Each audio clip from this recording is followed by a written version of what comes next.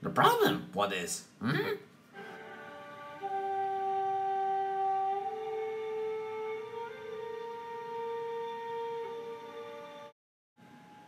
Master Yoda.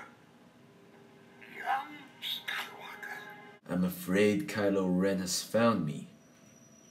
I need to get out of this island. Face your destiny, you must. I still need to train Rey.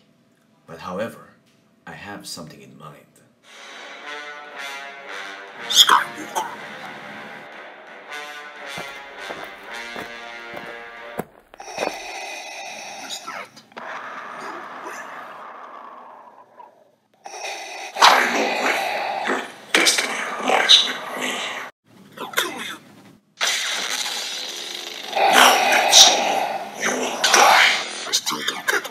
here are trying to interfere me with my dear son.